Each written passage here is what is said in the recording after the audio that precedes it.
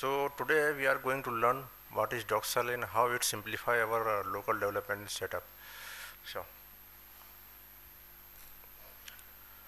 so let me introduce myself first. So I am Sharique Ahmed Farooqui and I am working in Acquia as a senior Drupal developer and I am using Drupal since 4. Point, version 4.7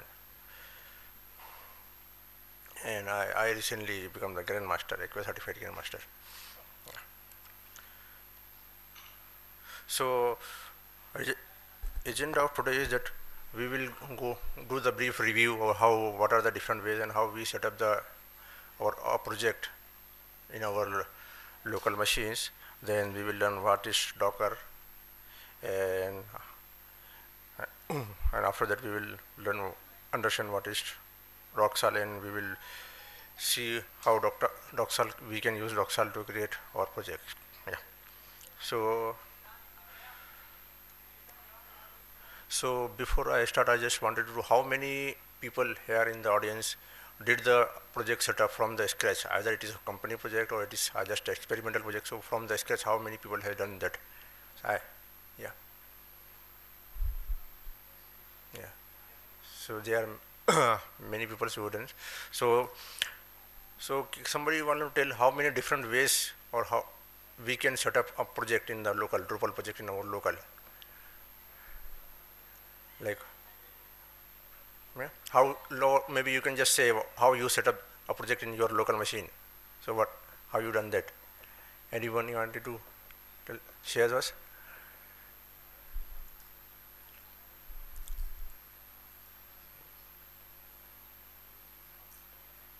Anything anyway whatever just you said yeah. No just from the from from scratch you, you don't have anything on your local machine and then you start trying to set up your projects.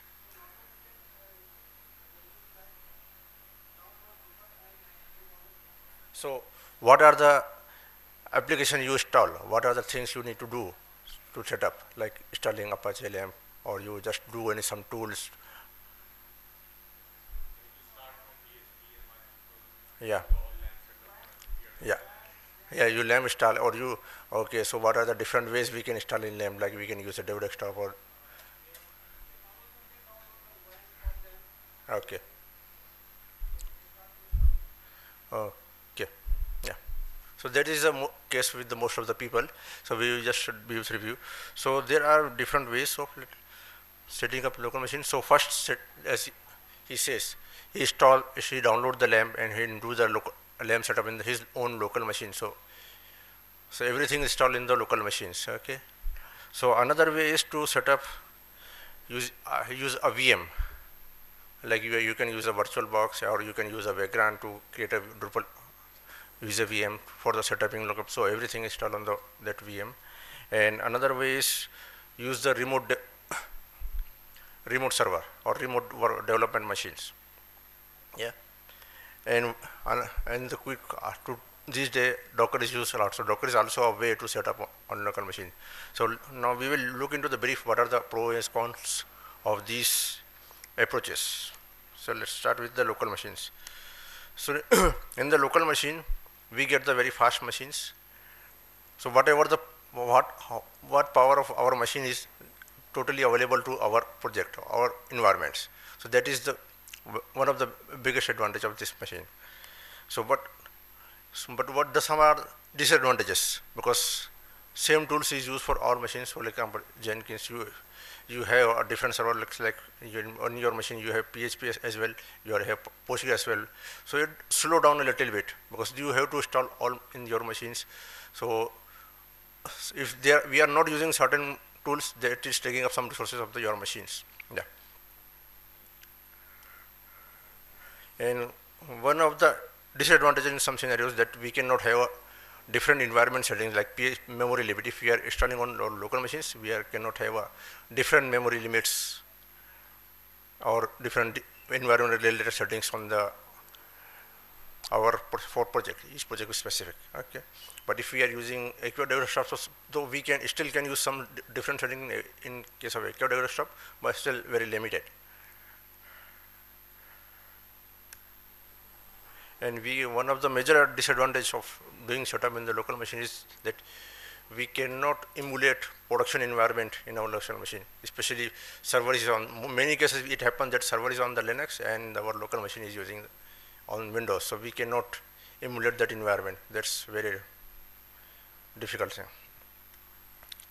And so second approach is the using a VM.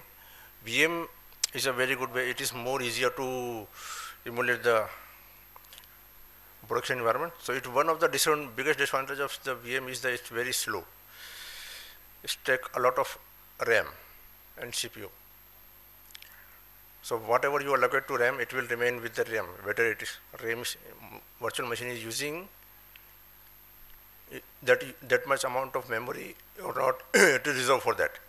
So we can make, make it very difficult in case we are using uh, multiple projects. So one of the and also it also take a long time to boot up. Yeah.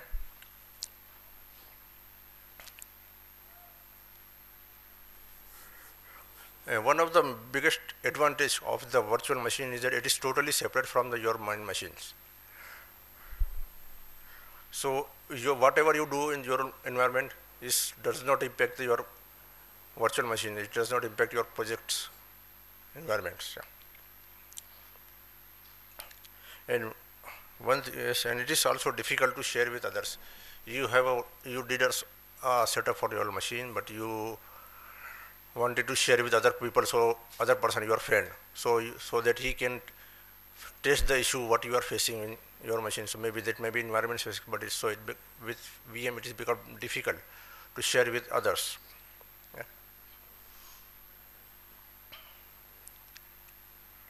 And also VM is very difficult to deploy. there are not many scenarios. There are couple of there are not many cases that we see in that the VM is used for the production deployment or any implements. And yeah, as we know, it is taking a lot of CPU and RAM, so it's very difficult to run multiple scenario. So where you have one project running on that, but you wanted to do some experiment, but so you cannot run another VM instance in the parallel, even if you have a lot of memory and CPU, but it's still very difficult. It's slow down your main machines. Yeah. Any other thing somebody wanted to share with that VM issue, or if there are advantages or advantages?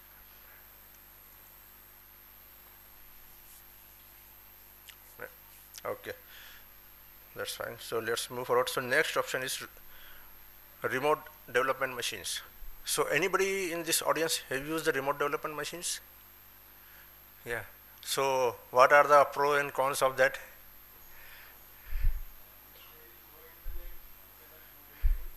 Yeah.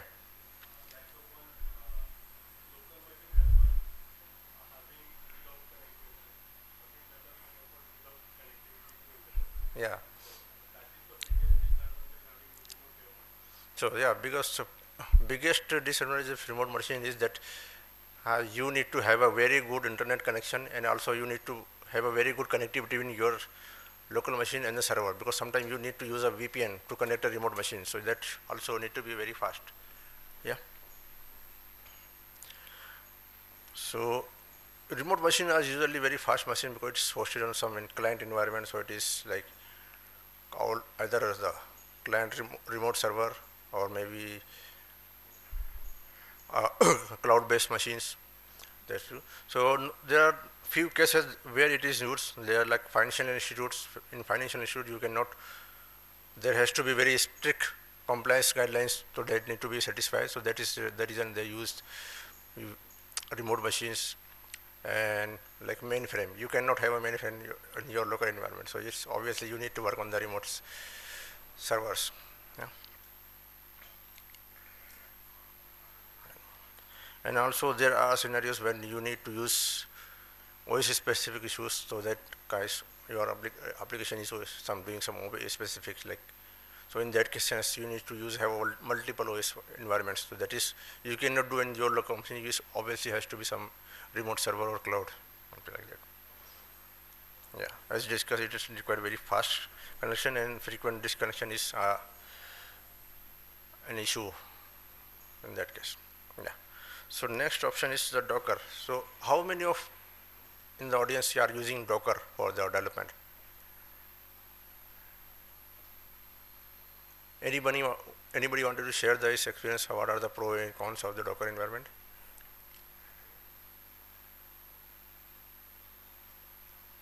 Okay, that's fine. So somebody want to tell what is Docker?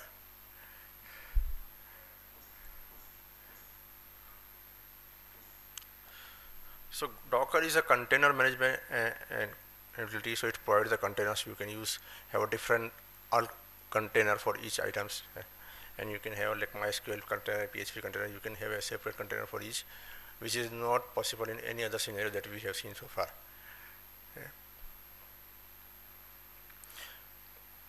So it is very fast as compared to VM. So it's boot up in seconds. If you start a comp component, even the not just single container, but if you start the stack, it will take seconds to start up. So that makes it very fast. So you could, if there is something issue, you wanted to do some environment changing, variable changes, so you need to restart the environment. So in container, in set case of the Docker, it's just in the within seconds, it restarted the, all the environment container. In storage and it shares the RAM and CPU with the main machine so it is like in VM it is the RAM allocated or the uh, storage allocated to the VM is reserved for for the whole duration when it is running. But that is not the case in the case of Docker. It is shared between the OS so whenever it container read need more memory it take up if it not it doesn't need that much memory it is available for the main OS to use and one of the biggest advantage of the Docker is that you can, it is much easier to emulate the Docker environment. You can have same setting, you can have same applications, and you can have same variables in your local as the production environment. And also it is easy to deploy. So it is since you can easily emulate the production and also it has some configuration file you just need to pass those configuration along with the Docker, you need to have a Docker install and that you can easily deploy the so same configuration what you have in local to the production. So any more, somebody wanted to add is any experience with the Docker with the, yeah? No, Okay. So let's say we wanted to set up Drupal on local machine. So if you wanted to do create every container with yourself, it's become very tricky. You don't need, don't know no Docker, but you just wanted to st get started with in five minutes or ten minutes. You wanted to get your site running. So how will you do it? You cannot go and then search internet and find out how to create a container for PHP, MySQL container container for MySQL. So there are some stacks, complete stacks that we have pre-configured PHP, MySQL, and varnish Solr for Drupal. So, so what? So we can use one of them. So here today we are going to discuss Docksal. So there are many like Docksal, Lando, DDEV, and Docker for Drupal. So there are many options available for to use Drupal with the Docker. So today we are going to discuss Doc, Docksal. One of the best advantage biggest plus point of Docksal is that you can start with zero configuration. You don't need to do any configuration. You just run a command and it, you will have a Drupal 8 site running in minutes. So what is Docksal? So Docksal is a set of container Im images like PHP container, MySQL container, and other Solr and other containers, and a command line tool. So it supports not just Drupal, but it supports other PHP applications like Symfony, Laravel, and also not just uh, PHP, but other applications like Node or plain PHP Go-based Go -based framework that can also be used with the Docksal for development. So there is a command line tool that come with the stack, so that makes your all the usage You just need to run commands and then it will do uh, the rest of the things for you. Yeah. As I said, it we can create a project with zero configuration. So there are some prerequisites for that. obviously you need to have a Docker installed and then you need to have a Git installed on your main machine. And if you have a PHP composer, that's good, but if you don't have, that's also fine. Because it can use the PHP from the container. So first you need to install Docker and for and then you need to install Docksal. So there is a command you can also refer go to the Docksal documentation to refer to the command to how to install that. Okay. So there is a command for creating a new project. So that is fin project create or you can use short form for project fin p create that command that will create the project for you so it will, there are only two options you need to pass for that. First one is the project name, project type. What is the project type like Drupal 7, Drupal 8 or Go or something. Or project name, what is the project name.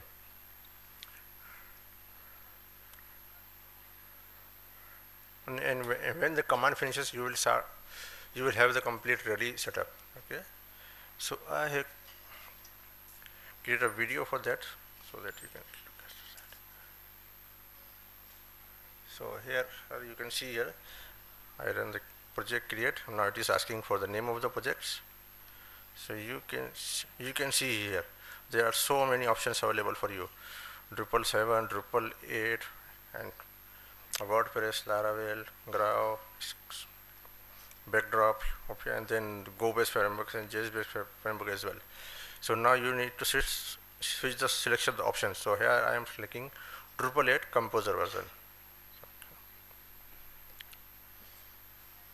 It's noise and it is showing the summary. What are the options selected and what is the domain? So this this is the path of the the project and it is Drupal 8 composer base and this will be the URL at the end that will be your that you can use to access the project here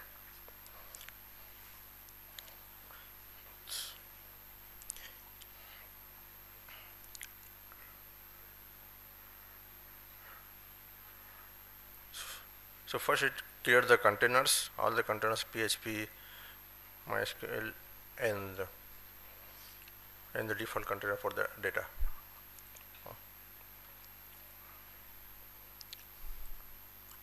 And that web container link the PHP and MySQL container.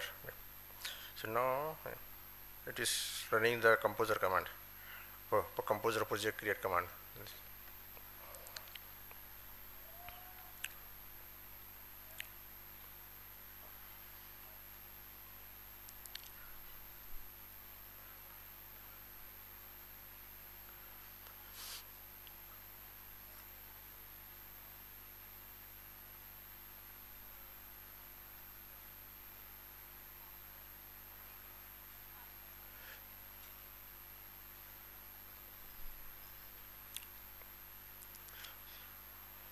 So it takes some time let me skip forward a little bit.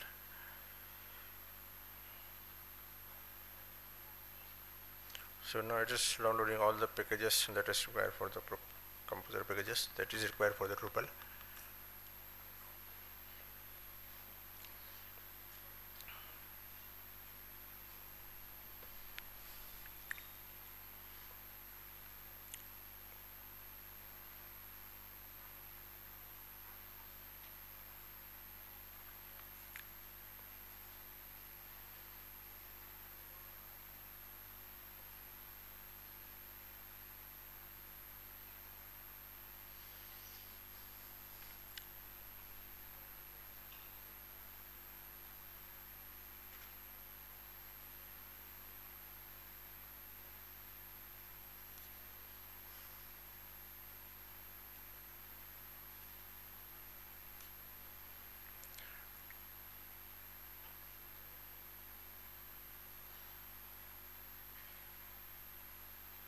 so now you can see here it is uh, complete after creating project from from the composer. Oh, that's composer create project output. Now it is running it is creating the settings php it should set the updated the settings created settings php file and also created the files folder and also set the permission. Okay now it is doing the installation. You can see here it's running installing Drupal.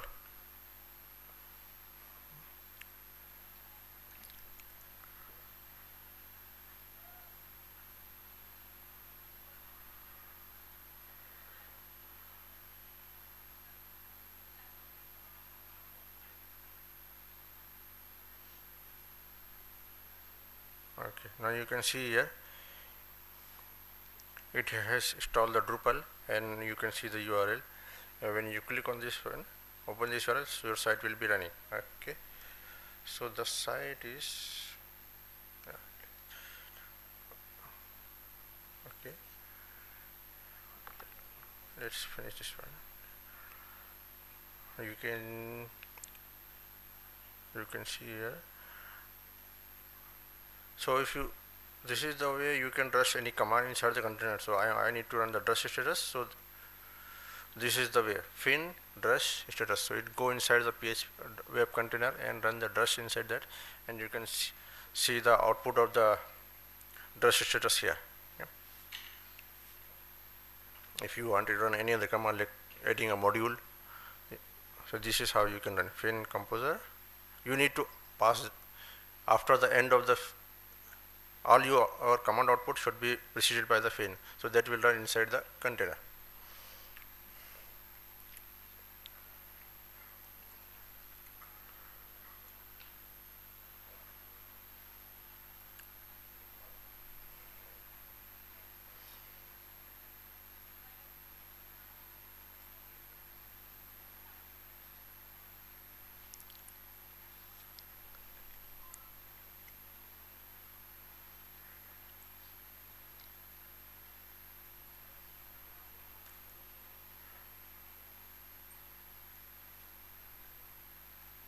yeah so you can see it is added the top.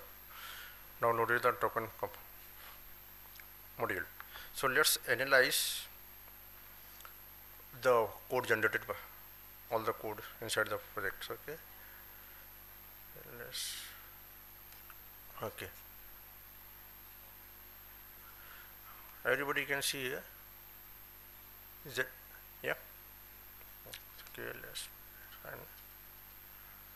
so you can see here this is our uh, typical Drupal code. And you can see here there is a dot docksal folder. The dot docksal folder contain all the configuration and all the items related to docksal so let's analyze what it does when you create a project. So most important files are docksal.env file. You can see here this is the docksal env file. So here some configuration that we need to do that. Right? you can see here docksal stack equal to default. So there are few options depend on the what kind of project you are running. This is the you need to define in the structure what stack you want to use if you want to use node stack or you want to use PHP stack. So this is the default. By default it means here PHP MySQL. That's it. That is typical LAMP stacks. If you are using node you need to pass the node here, node.js here or if you are using unit of Solr varnish etc in yourself so you need to pass the acquia parameter here in the stack folder so it will add the Solr and varnish memcache etc in your stack folder so you can see, you will see the all the containers of with your project. Okay. So there are con some configuration that you can do here. So these are the some for example you wanted to change the PHP version. So this is the way you can use you need to uncomment this that is the this x is the version of the docksal stack that you need to use. Currently it is 2.6 and you want to use 7.1 then after that you need to pass the whatever the PHP version 7.1 7.3 or 2 so default is currently def default is the 7.2 if, if you change here it will reflect there on your side. Yeah. so after that what all you need to do is just run fin project restart that will apply all the changes from here. Okay. And next configuration is that is the doc root folder. So here doc root folder is where all our web code is going for come all the from where the our http root folder that doc root folder that is called where. From where Apache will serve the files. Like in some cases it is web or some cases it doc root, depend on how you have created the projects or how your project is set up in that way. And this is the port mapping for MySQL and that is Xdebug. If you wanted to enable disable Xdebug, just you need to ch if change the variable here. If you want to enable, just set equal to 1 and then restart your containers with finp restart. That's it. Okay. A second configuration file is this docksal.yml file. And it usually don't you don't usually you don't need to do anything here. It just need to keep like as empty. But if you are are modifying any composer y you if you know it very well how many people know the composer yml sorry sorry. Uh, okay. Sorry docker compose yml how many have modified the Docker parameter, composer parameter. So if you wanted to modify any Docker composer settings here, you need to do this. But you do, usually in most of the cancer cases you don't need here. So it will, whatever changes done here, it will modify the Docker compose YML files, like our hook override like kind of thing. And then if you have few more settings, if you wanted to modify that PHP MySQL settings, you can put here if you want to modify MySQL settings, you can just put those settings here and it will be, be reflected on after the restart of the containers, it will reflect there. Similarly, that is the PHP INI. You want to change the memory limit, it you can from do from here. Inside the etc PHP folders.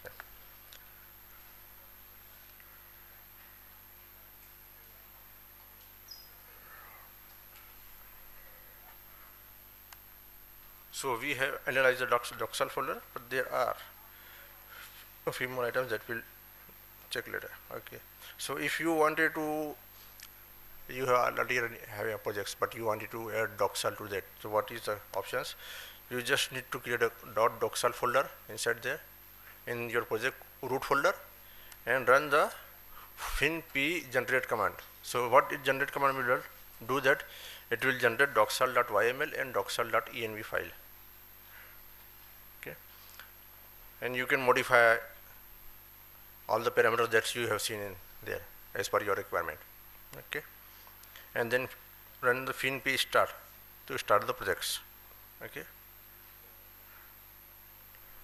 Okay. So any question so far? All good? Or a yeah? Yes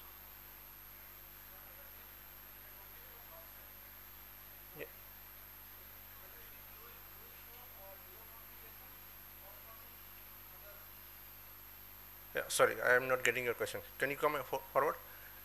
Or do you have mic?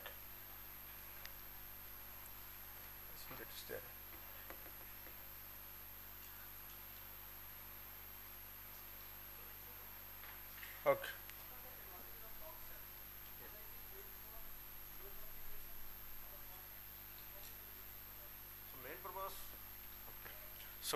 So the question is what is the purpose of Docksal? So Docksal is used for the setting up local. So you can quickly, how quickly you can set up a site in your local machine. That is the main purpose of the Docksal.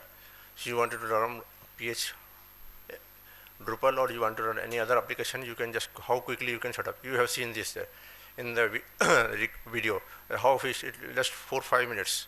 You have running Drupal 8 site without any interaction. You just need part, you need to pass the two options and then grab the coffee. Before you finish the coffee, it will, your site will be ready.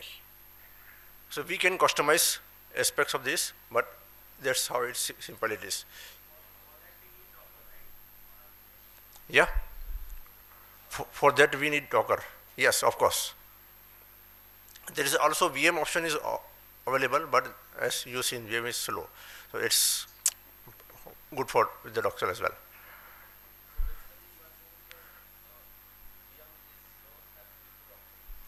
Docker.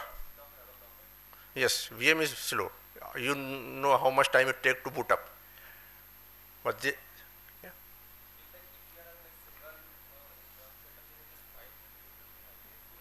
yeah. Yes, you can use that in Windows.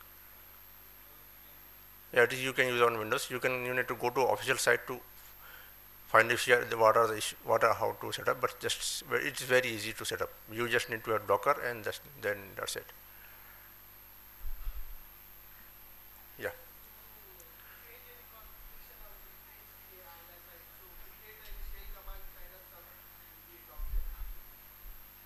So, so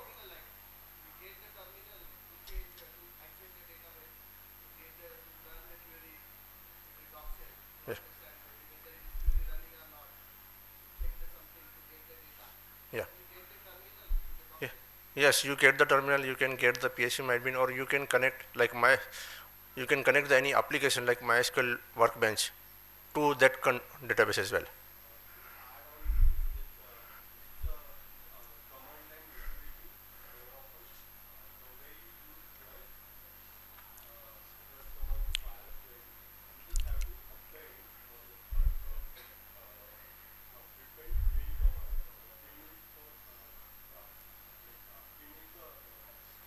line utility for Docksal.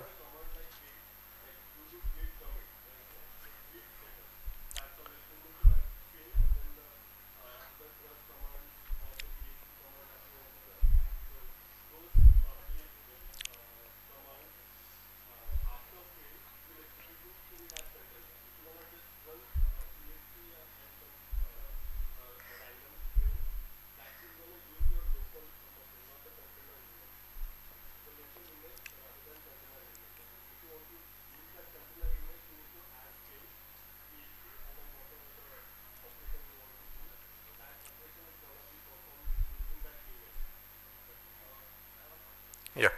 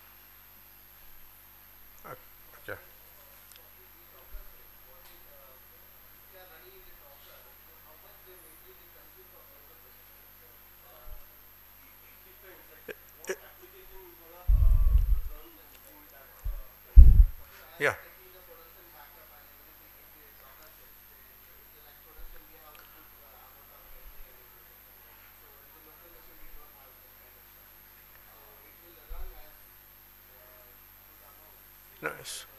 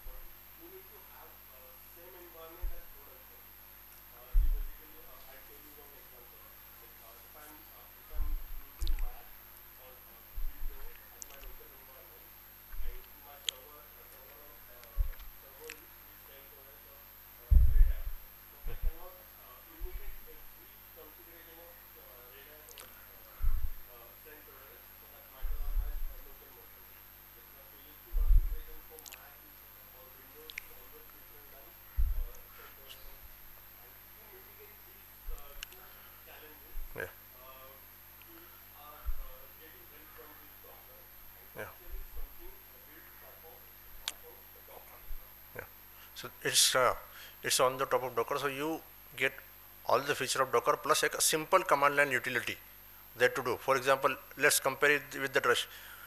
With the drush we can easily do everything. We don't need to go to interface and go to there and there and do something like enabling module. With interface it take three four steps to do everything for add a installer module. But in with the drush it's simply just we need to run one command and module install similarly it Fin is similar, do the similar thing to the Docker.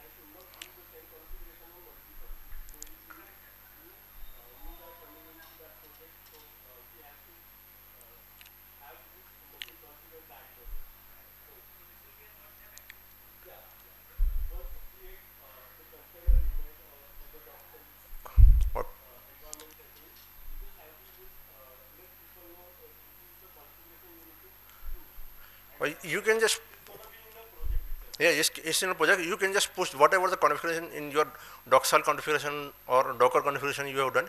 You can put that to the Git, so it will be shared with your team as well.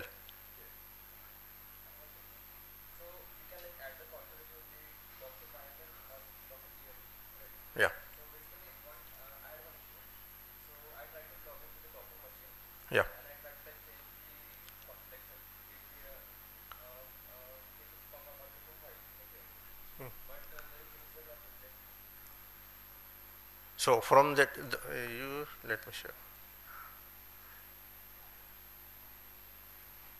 So you went inside the container and modify.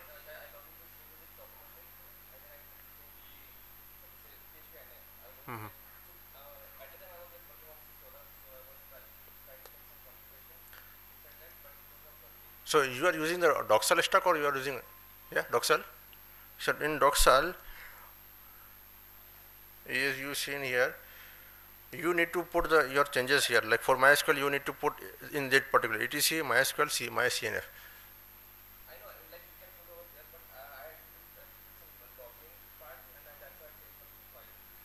Okay, so but that won't uh, retain that long term.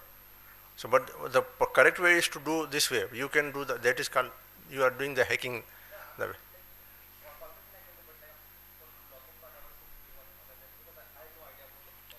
Okay. Okay. Okay. So that you need to check with the why it is not reflecting bus because maybe it is overriding with the default configuration or that because that may be already picking up from the default configuration not allowing to modify those files okay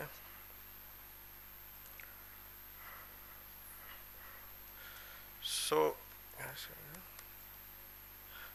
so uh, has uh, few few very good add-ons. And so the, the add-ons you let for you need to you wanted to add some other content like adminer yeah php mysql you can add that. So it's uh, you need to install the add-on for that. And some of the very, very useful add-on is the ULI you need to always many times you need to run the address ULI many times in a project you don't have a predefined ULI. the password for admin user is not set. It is so you cannot log in using the normal password. So you need to use the ULI so the ULI plugin is there and also adminer PHP admin is there. Let me sh uh, show you the ULI one.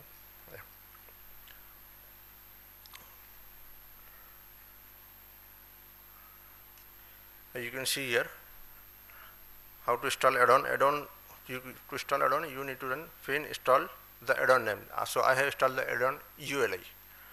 So after I just need to run fin ULI. I don't need to run fin drush ULI. Okay. And the compared to fin drush ULI, let me say share.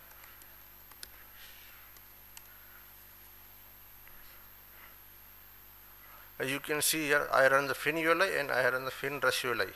You can see here it is giving the proper with the correct domain name and also you can see here the message here it is copied to clipboard. You don't need to copy from here. It is already copied when you run that. So you just go. You need to go there, browser and pin there. Okay. So that is the advantage here. And there are many other add-ons that you can use. The one advance add-on is for PHP Marine if you wanted to add access to database, you need to check the database, what are the tables, okay.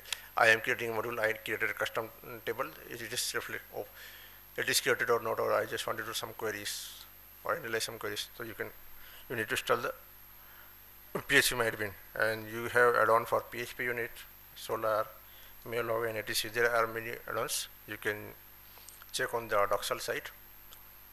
Okay. You have seen how we can install. Just run the command fin add-on install and the add-on name. That's will install that.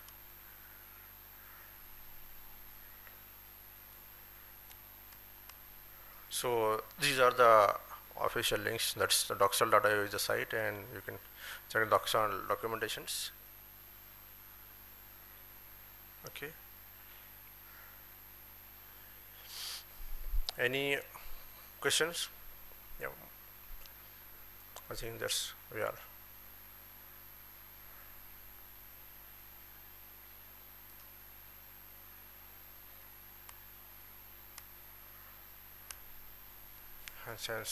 Thank you. Thank you for your attention. I hope you find the my session useful